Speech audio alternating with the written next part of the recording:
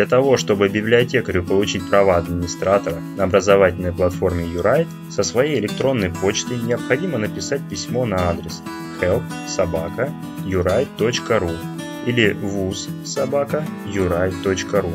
В теме письма укажите права администратора. В письме в свободной форме укажите, что вам нужны права администратора ВБС URITE. Здесь укажите вашу фамилию, имя, отчество и название учебного заведения. После получения письма сотрудники образовательной платформы URITE выдадут вам роль администратора.